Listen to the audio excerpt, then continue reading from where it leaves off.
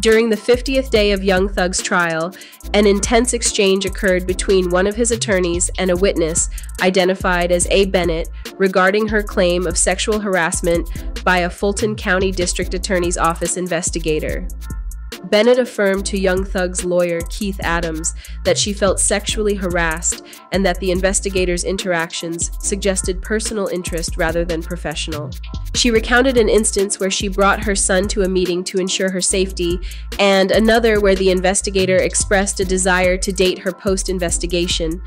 Bennett, initially reluctant to testify due to her discomfort with the investigator, was compelled to appear in court under custody, later discussing a 2013 incident involving Young Thug. Her testimony also highlighted the personal toll of the investigation, including losing her job and distressing experiences for her family. The trial has become the longest running in Georgia's history.